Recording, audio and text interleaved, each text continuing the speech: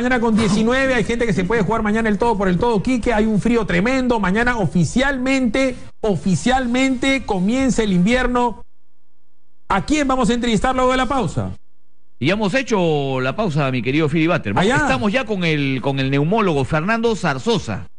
Eh, me, me cuentan que es una eminencia en su área y vamos a hablar sobre el frío, sobre la- los problemas que pueden tener los niños y los ancianos en este cambio de temperatura que ya se siente y sin iniciar aún oficialmente el invierno que empieza mañana. Ok. Doctor, ¿qué tal? ¿Cómo está? Muy buenos días. Gracias. Usted también ha estado atento a todo lo que está pasando ahí en Rusia. Eh, doctor, hay mucha gente que confunde el resfrío, la gripe, la garganta con las enfermedades broncopulmonares que son las más graves. ¿A qué están expuestos niños y ancianos con este crudo invierno, doctor? Claro, gracias por la oportunidad de compartir algunos conocimientos prácticos para la de oyentes y televidentes. ¿no? En primer lugar, eh, el concepto principal es que de una infección simple que mencionaste, solo resfrío, puede venir la temible bronquitis y neumonía. Entonces, es uno después del otro por lo general, porque a veces hay cuadros bruscos sin virus previo, ¿no? Pero es lo común. O sea, el mensaje es, si uno se resfría, hay que cuidarse un poco más, evitar enfriarse, alimentarse mejor y si es un bebé, darle lactancia más seguida, ¿no? A ver, son 9 de la mañana con 21. Mucha gente dice eh, que hay que tener una serie de cuidados, pero pocos son los que van al neumólogo, porque el neumólogo lo ven como una cuestión muy grave, muy seria. Entonces van al pediatra o le creen a la comadre o toman su té piteado o se abrigan o se tapan o se ponen vivaporú o se, o se, o se ponen este, vinagre bullí y hay un montón de cosas que pasa con la gente. Entonces yo le ruego que usted primero se dirija a los niñitos de 0 a 6 meses. ¿Qué es lo que se tiene que hacer sí o sí para que no tenga un problema eh, broncopulmonar? Justamente el, el Ministerio de Salud, en una reunión de expertos entre neumólogos, otorrinos, hicieron la, la- en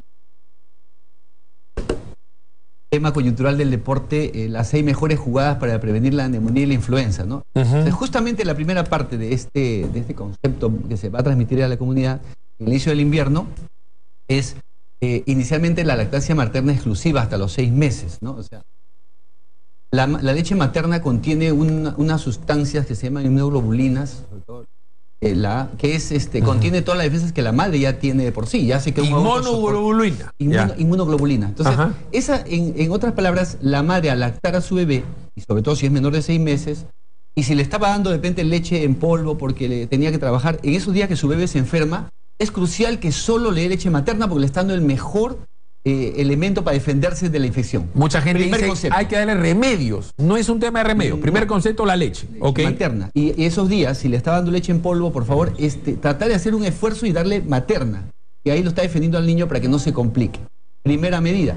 ¿no? Luego de eso, eh, ya cuando el niño tiene más de seis meses, tiene que empezar a comer papillas, Ajá. eh, alimentos nutritivos. Ajá. y- Papillas. Sí, pa- papillas nutritivas. Eso ya es todo un tema de- de- de- del nutricionista y del pediatra. De 0 a 6 meses. De 0 a 6 meses es leche materna exclusiva y eh, también las, las- los medicamentos que puede tomar la madre, también hay que tener cuidado con algunas cosas que puedan cruzar. ¿Qué cosa puede tomar la mamá o no puede tomar la mamá cuando está dando de lactar a un niñito en el invierno? Porque a veces la mamá es la que se ha resfriado.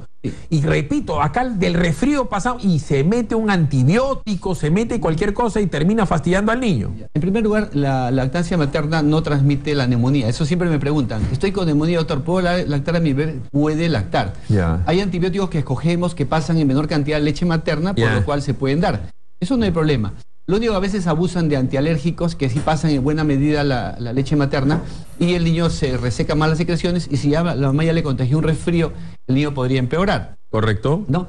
Eso es. Y después el otro eh, pilar es la detección de los signos de alarma en el niño, ¿no? O sea, el niño, que eh, usted, la mamá lo mira, conoce a su bebé que es activo, juguetón, risueño, el niño está agitado, eh, eh, quizás es lo más, lo más grave ya. Empieza a dejar de comer, el niño está estornudando, tosiendo, pero ya está decaído. Entonces ahí debe llevarlo porque a veces cuando el niño ya está agitado ya es un poco tarde. Entonces el niño lo ve con moquito, estornudo, está con fiebre, empieza a toser más seguido y ya empieza a agitarse un poco inmediatamente para que lo vea el experto, el pediatra o el neumólogo. ¿Cómo es esto? Hay mucha gente que dice que al niño hay que nebulizarlo o nobulizarlo. Le pregunto por el término adecuado, porque hay mucha gente que lo confunde. Y hay gente que dice, bueno, ponle una, este, no sé, este, algo con eucalipto caliente y que huele ese vapor porque eso le va a abrir el pecho. Entonces, ¿por qué? Porque en la nebulización también al chiquito supuestamente le entra un vapor. Y hay gente que dice, como no tengo plata para ir al, al centro médico o a la posta médica, hagamos esto, ¿no? Con menta y con eucalipto, hazle un hervido y que solo huela al chiquito, tápale la cara. ¿Qué cosa dice la ciencia y qué cosa puede suplir a la ciencia? Claro, eh, si la persona no tiene más remedio, está en un lugar muy alejado, pues puede poner eh, vapores de agua con eucalipto y sí puede servir, sobre todo en los casos de laringitis, de nuevo croup, que se ayuda a respirar mejor. Y también en el resfrío, por los primeros dos, tres días. Pero luego el, niño comienza a agravarse, si sucede eso, entonces ya debe ir al médico, ¿no? No puede estar haciendo eso. El peor error, por ejemplo, es echarle esos mentolatum en la nariz.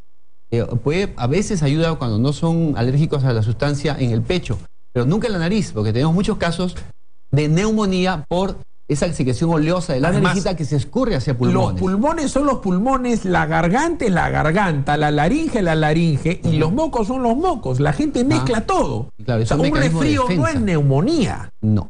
Puede, lo grave es la neumonía. El resfrío a la hora de la hora es un proceso gripal que dura dos, tres, cuatro días y ya está. Digo esto porque ¿cuándo es que le tienes que este, es nebulizar o nebulizar? No, nebulizar, porque viene de un nebulizador. ¿Qué cosa es un nebulizador? ¿Dónde se lo tienen que dar? ¿Cuánto tiempo? ¿Qué es lo que le ponen al niño? El nebulizador viene de la palabra neblina, de nebulizar, de hacer una niebla eh, farmacológica que se usa cuando el niño tiene broncoespasmo, pero a veces lo hacemos también sin broncohilatador para fluidificar secreciones, pero por lo general se usa en crisis de asma eh, básicamente, no tanto para la neumonía, no se recomienda tanto, salvo que esté con secreciones muy, muy densas, se puede nebulizar solo con suero. Pero por lo general se pone sustancias broncodilatadoras en la copa del nebulizador y eso ayuda. Pero eso es una parte del manejo. Es un tratamiento. Es una parte del manejo. ¿Hay jarabes? También hay jarabes que se pueden dar de igual manera y cuando al inicio son solo expectorantes y luego si el niño ya empieza a necesitar un antibiótico, necesita ya por una infección más severa. Ojo, que más o menos en los estudios que se saben, las neumonías son virales, nada más al inicio. y la gran mayoría, más del 50% son por virus y un 21% son por bacterias. Y eh, después de ambas cosas, ¿no? Eh, somos exitosa la radio del Perú. En este momento nos están escuchando en Tacna, en Monquehue, en Arequipa, en Huancavelica, en Cerro de Pasco. Nos están escuchando en Cusco, en Puno, en las alturas del Perú. Es importante prevenir antes que lamentar 0-6 meses. Pero también hay niñitos de un año, dos años, tres años, y a los tres años el chiquito ya va al nido. A los tres, cuatro años ya va al colegio. La neumonía se contagia si tose un chiquito con neumonía al costado del otro.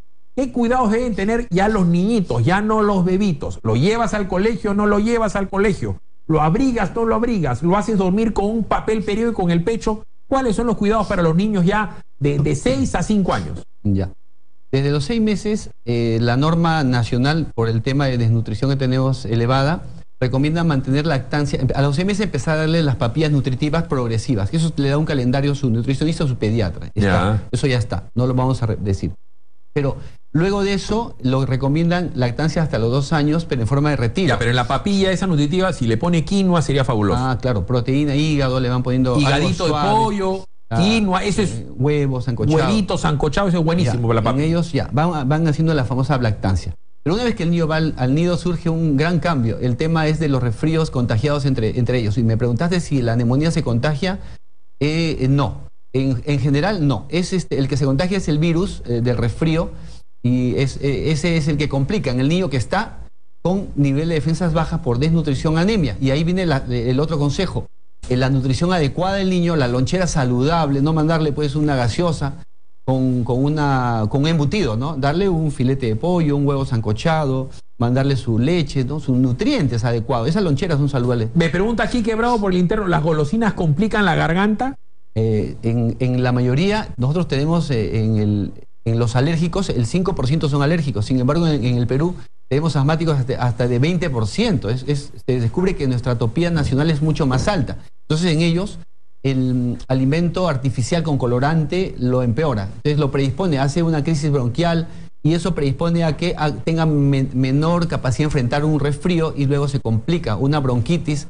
Entonces, en realidad, a largo plazo, eh, no es a corto plazo, los, los dulces y los colorantes artificiales hacen daño y, lo predisponen a estar más, más enfermos. 9 de la mañana con 29. ¿Cómo tienen que ir al colegio los chiquitos? ¿Con chalina, como estoy yo? ¿Con bufanda? este, ¿Los tienes que recontra abrigar en la noche? ¿Cómo haces? Porque todos los papás cuidan especialmente a los chiquitos que tienen dos años, tres años, cuatro años, cinco años y cuando van al colegio, ya a partir de los cinco o seis años, como el chiquito que se cambia solo. Cuidados para el infante, para ahorita, para el tema del frío que comienza mañana. Técnicamente, doctor eh, Zarzosa, mañana es que comienza el invierno. Efectivamente, ese es un tema que siempre nos preguntan, ¿no? ¿Lo abrigo o no lo abrigo? ¿no? Entonces, eh, ¿qué hago?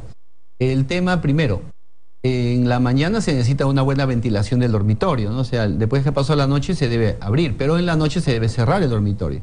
¿no? Se puede utilizar a veces deshumedecedores si la zona es muy fría, pero si no lo tenemos, simplemente lo que importante es evitar los combustibles con humos. En provincia a veces se, se ponen chimeneas y a veces no tienen buen, buen desfogue de, de, Y muchas veces en, las zonas rurales está el tema de que, cocinan con bosta o cocinan con carbón y se humea la casa. Sí, ya. El humo eh, contagia, este, fomenta la transmisión de los virus sobre todo, ¿no? Se dice que si un fumador eh, está resfriado eh, y expele el humo, eso puede volar hasta 10 metros y alguien que está pasando por ahí, esa ceniza tiene virus, ¿no? Entonces se contagia y si él no está fumando, eso no pasa de uno o dos metros. Correcto. Entonces mira la transmisión. Igual los humos intradomiciliarios, que además debilitan las, las mucosas respiratorias. ¿Qué tratan? El tratamiento para los chiquitos de 2, 3, 4, a ese sí le puedes meter una inyección contra la neumonía. Ah. Hay una vacuna contra la neumonía. Claro, este, justamente hay un calendario que se sabe, ¿no? En el, calendario del neumococo de, de dos, cuatro meses y justamente al al año de su refuerzo. Eso ya es un clásico, ¿no? Ya. Entonces, eh, y ya cuando son mayores de, un año ya puede ponerle en cualquier momento una dosis única. Eh, y la vacuna de la influenza, que es el otro enemigo que nos está acechando, ¿no? que no necesariamente da neumonía, pero puede dar meningitis, insuficiencia respiratoria y también neumonía. Entonces, ese, Esa la dan en el centro de salud, es gratuita, es cara, es, gratuita y también se puede comprar, ¿no? Para el, que no la, no la logra ver, porque se agota por momentos, pero el Ministerio de Salud lo provee.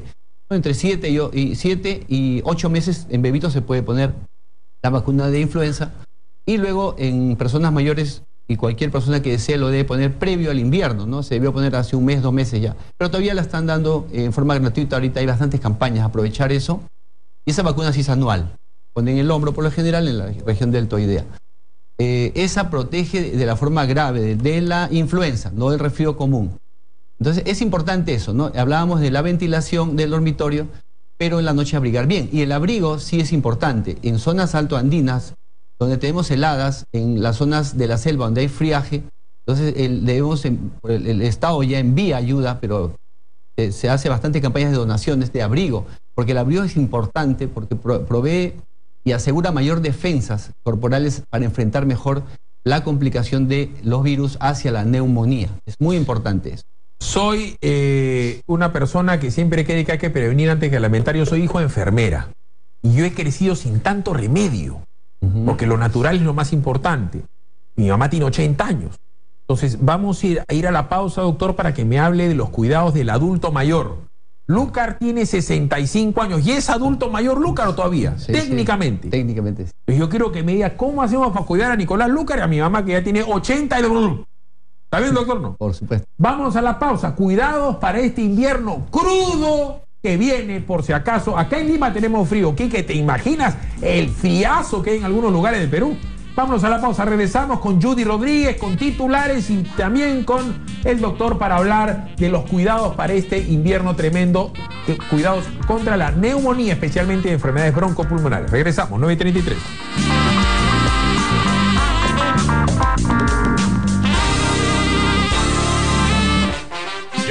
regresamos con Philip Butters en Exitosa. Butters en Exitosa.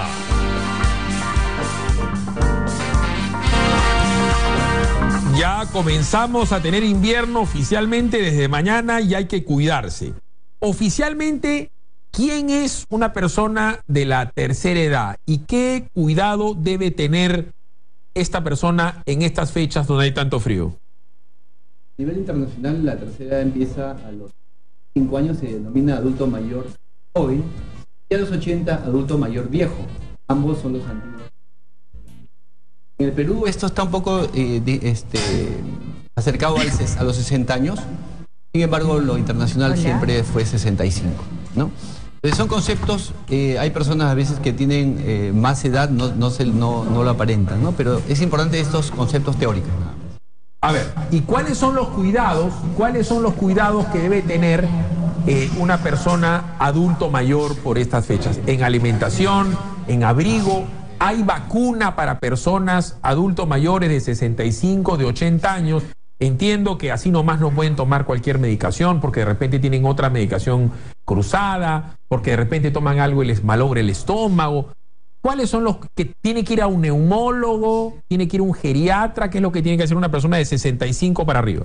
Claro, lo primero en- es entender que el adulto mayor es muy diferente a un adulto de edad promedio, menor de 60 años, porque los síntomas, por, decir de la neumonía que me preguntaste, son de menor intensidad y en un buen grupo no se percibe externamente, ¿no? El, adulto mayor puede estar con una neumonía y solamente estar decaído, podría estar solo somnoliento, ¿no? teniendo o no un resfrío previo, ¿no? Es muy diferente que un adulto joven o, o un niño. El niño, pues, por lo general tiene que haber estado resfriado. El adulto mayor también, pero un buen grupo está en su casa sin nada de por medio y se puede enfermar.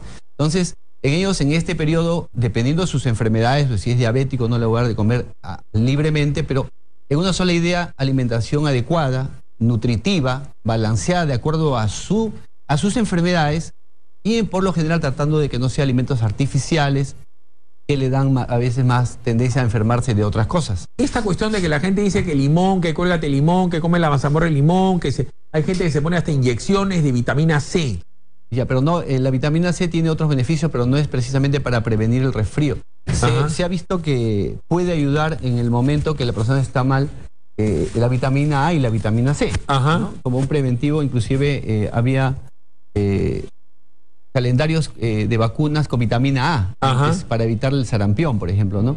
Se, se colocaba antes a dosis altas, ¿no? Tiene todavía rol, pero ha, ha dejado de tener fuerza estadística, eso no se usa Ya. mucho. La vacuna. La vacuna para alguien de 65 años. Mañana comienza el invierno. Ahí puedes llevar al papi, a la mami, al abuelito. ¿no? Sí, a Nicolás hay que llevarlo. A mi mamá la pudo vacunar. ¿Qué hago con mi mamá? ¿Qué hago con mi tío Nicolás? Claro, la vacuna de, de la neumonía, ah, hay dos, hay una que es cada cinco años y otra que es permanente, ¿no? Una cubre 23 cepas, la otra cubre 13. Las dos son buenas, si desea re- repetir la vacuna cada cinco años, la puede hacer. Y la otra no se contra- contrapone, puede también complementarse o usarse sola, la de que se usa y en forma permanente confiere una inmunidad y protección. Ese es en la neumonía. En el otro tema es la influenza, que sí de- definitivamente tiene que ser anual.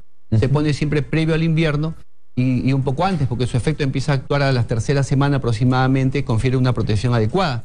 Entonces, si yo me la pongo ahora, entonces estoy un poquito a placer, ¿no? Entonces, debí ponerlo hace un mes porque justo el invierno empieza, ¿no? Por eso se recomienda siempre en, en mayo, en ese periodo, porque en junio empieza el invierno. Esa previsión. Pero igual, confiere una protección adecuada a- y si a la persona le da la influenza, se lo da en menor intensidad o simplemente no le da. No protege el resfrío, ojo, es otro tema.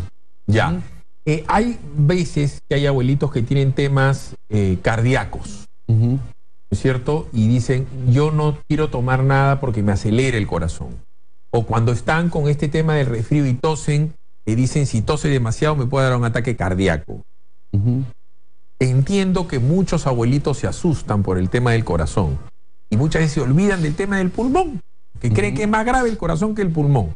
¿Qué consejo le puede dar de la manera más cariñosa, pero también científica, al abuelito que tiene alguna complicación coronaria y ahorita comienza con el tema del frío? Ya, ahí la primera que aprovecho es esta pregunta excelente es no usar los antigripales que se promocionan en, en forma comercial.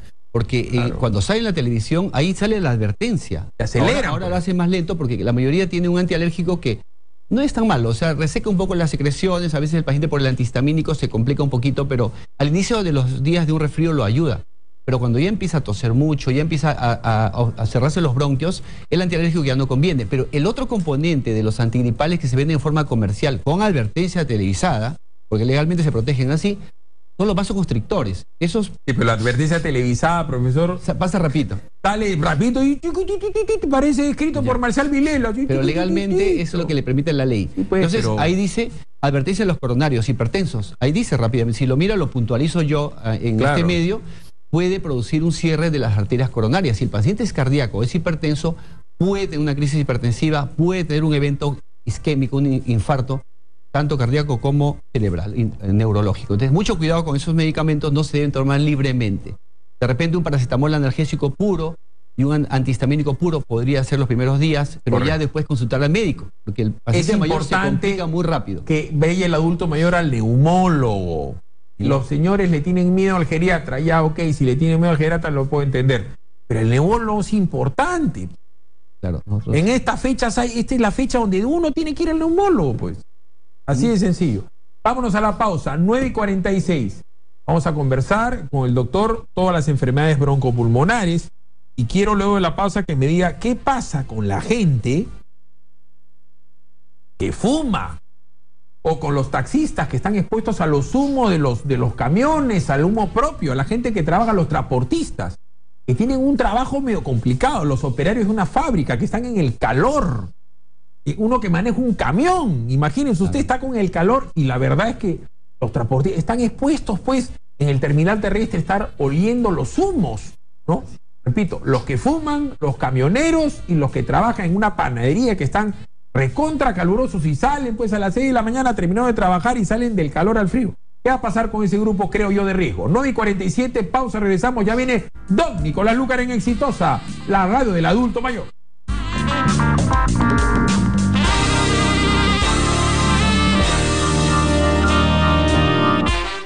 Regresamos con Philip Butters en Exitosa. En Exitosa.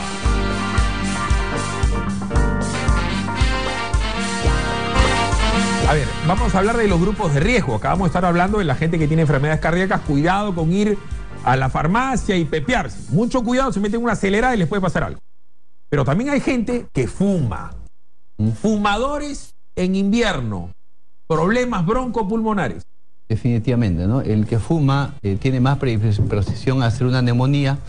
El, el humo en sí, la- las sustancias son como 4.000 sustancias tóxicas, de las cuales inclusive 400 son definitivamente cancerígenas. Ese es un tema a largo Es un plazo. veneno, es un Pero veneno. a corto plazo eh, debilita el, el movimiento defensivo de los bronquios, esos, esos cilios que se mueven permanentemente, tienen un movimiento más lento, por lo cual eh, la eliminación de gérmenes que ingresan permanentemente en época fría por la humedad que transmiten más microbios es menor. Y el frío empeora más aún esto y con el humo uno se debilita. Pero en el Perú a veces eh, eh, no siempre el tema es el, cigarrillo, sino también como mencionaste la contaminación ambiental. Uno sin fumar ya está en la calle respirando smog. Y es un fenómeno parecido, de menor intensidad, pero es parecido. Y también en las zonas este, rurales donde se cocina con eh, combustibles de biomasa, se llaman, ya sea eh, leña o bostas, ¿no? También igual. Eh, en la casa de un fumador o del que tiene humos, la incidencia de neumonía y de asma descompensada es mucho más alta. Por lo cual se tiene que, en provincia, por ejemplo, el, el tema de cocinas mejoradas es un proyecto que sacó la Universidad Cayetano Heredia Sí. en gobiernos anteriores, está retomándose ahora y probablemente se va a hacer eso. Pero en el tema de fumar simplemente es una decisión, pues, dejar ese, ese vicio, ¿no? El tabaquismo. Pedir ayuda porque es una adicción. Son 9 de la mañana con 51, pero hay otros grupos de riesgo. Nos están escuchando medio millón de taxistas del Perú. Y el taxista tiene que seguir trabajando. Muchos se abrigan, se ponen un papel periódico en el pecho, trabajan de madrugada y el taxista está todo el día en el tráfico. Entonces, no sabe si sube o si baja la ventana. Porque si baja la ventana le entra el frío y le entran los gases tóxicos de todos los camiones y los taxis que están. Claro. Si la sube, está pues en, un- en una calentada tremenda y cuando sale a la intemperie se enfría. ¿Qué consejo le puede dar a los taxistas para las enfermedades broncopulmonares? Son 9 y 52, ya viene Lucar. Ya, ahí hay un concepto eh, un poco ingenioso y un, y un- y un consejo también, ¿no? En primer lugar, El auto que debe manejarse no debe estar muy antiguo, debe tener un buen sistema de aire acondicionado y un buen filtro. Entonces, eso también tener la responsabilidad de tener un mantenimiento adecuado del carro. Entonces, cuando está pasando por una avenida demasiado eh, contaminada, debe cerrar todas sus escotillas. Si tiene un pasajero, explicarle que está, va a prender el aire acondicionado y en ese momento está filtrando el aire y evitando respirar smog. Pero cuando pasa por un parque, por una zona abierta, puede abrir sus ventanas en forma moderada eh, y, eso hace que haya una ventilación. Es una estrategia, ¿no? Entonces, simplemente eso. Pero definitivamente la patología del taxista y de la persona que maneja o se expone al transporte público, ya sea policías de tránsito también, vendedores ambulantes, es más alta en lo que se llama enfisema a largo plazo, fibrosis pulmonar y tiene más predisposición a neumonías, ¿no? Es un factor eh, de riesgo para ellos, definitivamente. Entonces el que, el que ya trabaja en esa zona no va a poder evitarlo. En otros países se ponen mascarillas, acá la gente tiene ese problema. Es otra cosa. Son 9 de la mañana con 53. Otro grupo de riesgo es la gente que trabaja en panaderías, en siderurgias, en lugares donde está se puesto a un gran calor. En factorías que trabaja de amanecida y que termina saliendo a la intemperie. Por dar un ejemplo, los mineros. Por dar otro ejemplo, los pescadores. Tienen que trabajar en el gran frío, pero en determinado momento están en la caldera de la bolichera. En determinado momento están en la mina y tienen que salir a la intemperie. ¿Qué hacer con esos cambios bruscos? No puedes dejar de trabajar, pues ¿cómo va a ser un panadero? Hace el pan, por si acaso, el pan está, está, este, como el de Delibé, que está fresquito pues a las 6 de la mañana, pero el panadero está este, en los hornos a las 4 o 5 de la mañana. Entonces, y a la hora que sale, ¿qué tiene que hacer ese grupo de riesgo que trabaja en calorcito? Con la intemperie. Sí, cada vez hay normas que protegen al trabajador, ¿no? Hay, hay este, eh, este, respiradores en los mineros, en las cirúrgicas, y a veces el trabajador solo se lo saca por incomodidad, pero la norma está dada y es cu- cuestión de cumplir la ley en ese aspecto, ¿no? Pero hay, hay mucho trabajo artesanal, entonces ahí es tratar de de repente ver algún técnico que haya un mejor desfogue de las chimeneas, ¿no? Y tratar de repente colocarse algún tipo de máscara, ¿no? Porque Pero nadie el lo mira. calor y la gente que la ladrillera, Eso los justo- hornos, los, eso. los torneros, los que trabajan pues en Claro. los talleres mecánicos, en las rectificadoras. Claro, ahí Estás es con el una tema. máquina, en las imprentas, estás con un calor. ¿Cómo haces con el cambio brusco de, de- de clima? En el tema primero de lo que respira, el filtro. Siempre ponerse mascarillas con filtro que el, empleador está obligado a ponerlo. Si se cumple la ley, está protegido. Pero en, en el tema este, que es eh, artesanal, viene, el- viene la situación peligrosa, porque ahí nadie lo protege, es una cosa informal, ¿no? Entonces ahí eh, el consejo es ponerse al- algún tipo de mascarillas, protegerse. Y el cambio brusco de clima Ya, para que ahora trabaja calientito y sale la intemperie. Claro, también. Los cambios bruscos de temperatura eh, predisponen a, a una mayor tendencia a enfermarse, a resfriarse, ¿no? Entonces, de repente tener algunos cambios de polos de algodón cuando se sale, si está sudando, no salir bruscamente, ir al baño, cambiarse ese polo, porque no todo el tiempo va a estar en un área. Ordenarse para que un área esté todo el tiempo acá y después sale a la otra área, pero no estar entre y sale, porque sí se puede hacer eso. Es cuestión de que sea ingenioso, sino que la persona a veces no tiene esa, esa habilidad, ¿no? Eso tiene que ingeniársela, porque si, está trabajando en un lugar donde se hace forma todo eh, eh, así rudimentaria, pues tiene que también ser ingenioso, ¿no? Sentido común. 9 de la mañana con 56. Los niños por nacer, los que están en la pancita ahorita de la mamá, las mamás gestantes, no pueden tomar nada. Dice, yo no puedo tomar nada, ningún medicamento, yo no puedo nobilizar, yo no puedo tomar nada, absolutamente nada más que lo natural, ni aspirina, ni nada, nada, nada. ¿Qué hacemos con las mamás gestantes? ¿Cuáles son los cuidados en este invierno crudo que viene? Ahí vienen dos, dos, este, dos personas, ¿no? Eh, la gestante y la personita que está dentro, porque cuando la, la gestante tiene un buen control prenatal, asegura que no tenga una enfermedad complicada de la gestación y ese niño nace bien, nace de buen peso. El niño de bajo peso tiene más neumonía, más inf- eh, influenza, más, más tendencia a enfermarse y si hace la enfermedad, más posibilidad de morir inclusive. Y la gestante, como tiene un periodo de inmunosupresión, ojo, la gestación es un periodo de inmunosupresión porque los nutrientes en gran medida se van hacia el bebé, hacia, hacia, el, hacia el feto.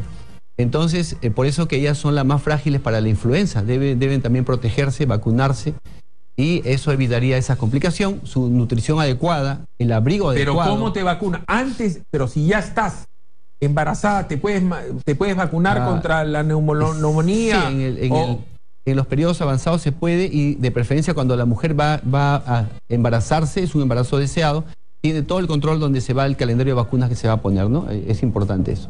Son 9 de la mañana con 57, 9 de la mañana con 57. ¿De qué cosa me puedo haber olvidado, doctor? ¿Qué Ah. cosa? A ver, yo creo haberle preguntado de Yo- todo, pero usted yo acá el quisiera, que sabe. Yo quisiera puntualizar ese e- ese eslogan que ha sacado el Ministerio de Salud, ¿no? Eh, las seis medidas con que le puedes ganar al- a la neumonía A ver, y a la influenza. Sería ¿no? Para bueno que terminar. cómo le ganamos a Francia, pero hábleme de la influencia en todo caso. Sí, claro, ese ese eslogan la- se ha sacado recién en, en Ah. el tema de, con el fútbol, ¿no? Que está dando. Cuéntemelo. Primero, ¿no? Dijimos, eh, el, el- el niño que está con lactancia materna en los primeros seis meses. Lo, lo comentamos en la primera parte de, de la entrevista. Correcto. Luego de eso, cuando empieza a comer unas papillas nutritivas y un alimento progresivo que va a durar durante toda su vida, y ahí viene la nutrición adecuada, balanceada, sin cosas artificiales. Luego de eso, ese niño debe ser controlado en su crecimiento y desarrollo, llevarlo a- a- al pediatra, llevarlo al centro de salud a que vean que crezca adecuadamente.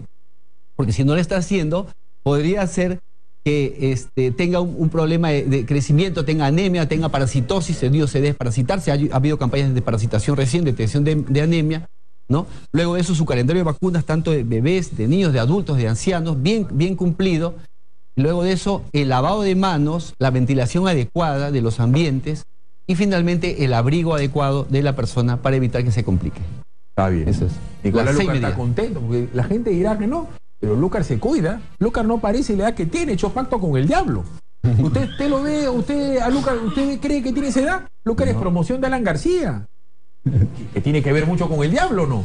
9 de la mañana con 59. Doctor, ha sido usted muy amable. Gracias por la entrevista. Nicolás hay que abrigarse, Nicolás hay que cuidarse. Está entrando don Nicolás bien abrigado con ropa que le ha regalado sus hijas. Porque se nota que te quieren. A- Algún mérito de vida tendrás. ¿Cuántos años tengo, doctor? No sé, me dice, yo pensaba 50, pues me, ha- me ha- me ha hecho, ¿Ha ha hecho una, doctor ha tiene hecho- razón. ha hecho el doctor tiene razón. ha Soy hecho- menor que Billy Butter. ha hecho una infidencia. Menor que Billy Butter soy. A más corrupción, más aprismo. Ha hecho- ha hecho una El doctor es compañero. ¿ah? ¿Tú qué edad tienes, Nicolás? 64. Por Dios que tú no pareces, estás bien cuidado, ¿no? Por supuesto. Esto- El doctor se quiere tomar fotos con Lucas, todo lo que te escucha. Tranquilo, doctor. Tú estás bien cuidado, pero porque te cuidas a la, a la yaya o tú vas a tus controles, tú vas a los médicos, tú no es que sacas la, la lengua por el, por el espejo del carro y dices, ya estoy. Mi, mi doctor que se llama Jorge Tuma. Jorge Ya, Tuma. ya, Eso sí no es investigación. Cañó, como se dice. ya, O sea, mi viejo tuvo derrame cerebral a los 80 años. ya. ¿Está bien? Mi abuelo tuvo derrame cerebral a los 80 años. Y con el- la cabeza que tiene tu cerebro debe ser una locura, hermano. Pero los dos sobrevivieron a los derrames cerebrales, pero todo el resto de su cuerpo funcionaba perfectamente. Que tenían hipertensión arterial. Ah, para ¿Qué tengo que hacer yo? Tomar la medicación, pero por mi madre. A mí me Ya. hacen un examen médico y si yo no declaro que soy hipertenso, no aparece en el registro. Yo podría engañar a las compañías de seguros. Está bien controlado. Porque está recontra controlado. O sea, no pasa nada. Hay un terremoto, todo el mundo le sube la presión y yo estoy tú tranquilo. estás tranquilo. Estoy- Está bien. No, pero que- bromas y comer sano y tratar de hacer ejercicio, que es eh, no tener sobrepeso, tener una vida saludable. No, este tiene una vida, tiene. que no fumar, loquitas. beber socialmente. le, da, le de comer. Él vive con sus patas de Lima Golf, de, de- de- de los incas. Él en el hoyo, el hoyo 19, toma su whisky. Y que tan negra jamás ha tomado luz, azul para arriba. Está bien papeado. Te tienen bien cuidado, hermano, porque la verdad hay que decirlo. Uno siempre tiene que cuidarse a cualquier edad. Y el invierno es bien traicionero. Estamos viviendo, Nicolás, el invierno más bravo de los últimos años en muchos lugares del Perú. Está- Sí, está- mañana empieza, pero ya estamos llegando a 13, además cayó 13 así grados. De golpe, ¿no? De sudón. 13, como 13, golpe, 13 así de- grados. Hay que cuidarse. Listo, don Nicolás. Ha sido usted muy amable, doctor. Cuídelo, tómele Sí. la presión a don Nicolás. Siempre bueno, porque está un poquito. El partido contra Ya Francia. quisieras, Pater, llegar a mi edad. No, sí. bromas aparte. Yo, de verdad, yo quisiera, por Ah. eso me cuido. Yo quiero a la edad de Nicolás. Tú no Pero tú pareces. para cuidarte tienes que contratar guardaespaldas. Bueno, pues hermano, me he metido a mi clase de karate, pues hermano. Pero bromas aparte, tú estás bien cuidado. Broma, bien cuidado. Gente de 65, tú no pareces 64 años. Así, pacto con el diablo. horror. Vámonos a la pausa. Regresamos con lo que queda de Nicolás Lucar en Exitosa, la radio del Perú France.